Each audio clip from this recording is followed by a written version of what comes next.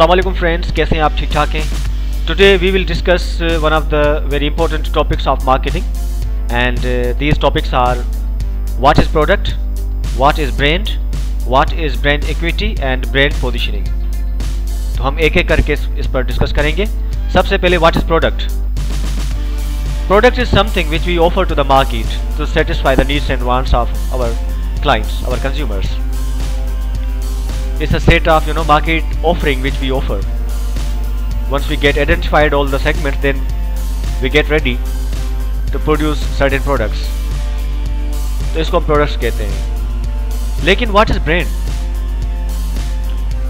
अगर हम डेफिनेशन की बात करें जो किताब के अंदर भी है a brand is a name a brand is a design a brand is a sign a brand is a symbol brand एक नाम नाम है जो हम प्रोडक्ट को देते हैं ब्रांड एक डिज़ाइन है, जब प्रोडक्ट बन जाती है तो हम उसको जो डिज़ाइन उसको आइडेंटिफाई करते हैं, उसको अलाट करते हैं। ब्रांड एक सिंबल है, ठीक है? एक लोगो है, क्योंकि आपने देखा होगा कि काफ़ी चीज़ें, अगर हम अपने घर की बात करें, अपने इलाके की बात करें, अपने शहरों की बात करें, जो कंज्यूमर होते हैं डिफरेंट वो जब जाते हैं तो गलियों में जाके चीज़ें ले लेते हैं। जब हम मार्केट में जाते हैं लाइक अगर हम इतवार बाज़ार चले गए, बुध बाज़ार चले गए, हफ़्ता बाज़ार चले गए तो वहाँ पे आपको बहुत सारी चीज़ें मिलेंगी, बहुत सारी प्रोडक्ट्स मिलेंगी अनब्रांडेड प्रोडक्ट्स मिलेंगी, खुली हुई चीज़ें आपको वहाँ पे मिलेंगी। अगर मुझे चिकन परचेज़ करना होगा मार्केट से तो मुझे वहाँ पे आम जो दुकानें होती हैं, वहाँ से मुझे चिकन मिल जाएगा।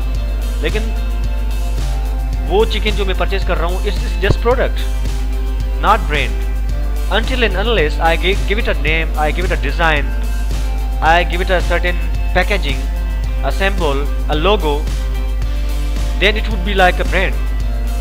उसके बाद वो ब्रांड बनेगा लाइक कैनन कैनन्स जो फूड्स जो चिकन आता है पैक पैक होके इट्स अ ब्रांड एकदम से हमारे जहन में आता है तो जो चीज़ जिसको आपने नाम नहीं दिया जिस चीज़ को आपने डिज़ाइन नहीं दिया, जिस चीज़ को आपने कोई पैकेजिंग अलाट नहीं की तो वो प्रोडक्ट ही रहता है, वो ब्रांड नहीं बनता। जब बच्चा पैदा होता है, उस वक्त वो बच्चा प्रोडक्ट ही होता है, जब तक आप उसका नाम नहीं रखते। जब वो थोड़ा बड़ा होता है, कुछ दिनों के बाद आप उसको एक नाम देते हैं, उनके अच्छे अच्छे कपड़े हम लेकर आते हैं परचेज करते हैं। ठीक है? तो उसके उसके बाद उसकी एक आइडेंटिटी बनती है। उसकी अपनी एक शनाख्त बनती बनती है। वो ब्रांड होता है। ठीक है? इसी तरह जितनी भी मार्केट में चीज़ें आपको मिलेंगी, खुली हुई चीज़ें, वो प्रोडक्ट ही होती हैं। हर वो चीज़ जो फैक्ट्री से बन के आती है, ठीक है?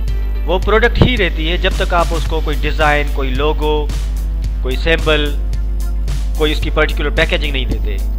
तब तक वो प्रोडक्ट ही रहती है। ब्रांड कब होती है? जब उसको आप ये सब चीज़ें अलॉट करते हैं। ठीक है? ट्रेडमार्क से जाके आपने उसकी जो है, उसका लोगो उसका डिज़ाइन जाके अप्रूव कराया।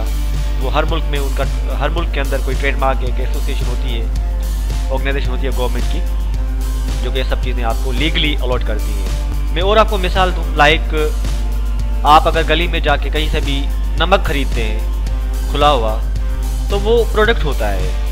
अगर हम नेशनल सोल्ट की बात करें, जो पैकेजिंग होती है जिसकी तो वो एक ब्रांड है। तो this is the difference between a brand and a product